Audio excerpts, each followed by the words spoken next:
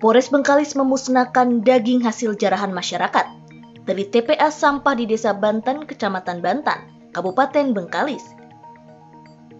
Polisi menyita 62 kg dari kediaman warga. Daging ilegal tersebut merupakan daging beku tanpa tulang dari masyarakat Bantan tua. Daging yang disita dari warga itu kemudian dibawa ke tempat pembuangan akhir atau TPA untuk ditimbun lebih dalam lagi. Selanjutnya menggunakan alat berat untuk daging itu dimasukkan ke dalam lubang.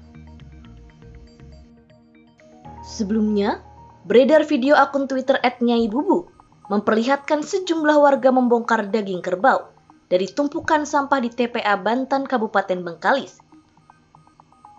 Daging yang diobok-obok dari tumpukan sampah itu ternyata daging barang bukti impor ilegal asal India sebanyak 41,2 ton.